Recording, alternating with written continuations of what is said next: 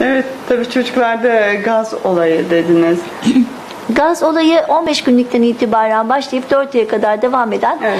kolit tarzı ağrılarımız olabilir.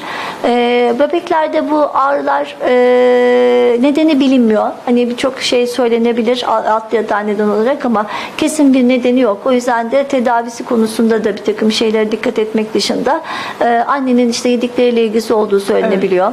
E, bebeğin erken doğmasıyla ilgili olabilir. Bebeğin gıda alerjisi olur, onunla ilgili olabilir. İdrar yolları enfeksiyonu geçiriyordur, onunla ilgisi olabilir.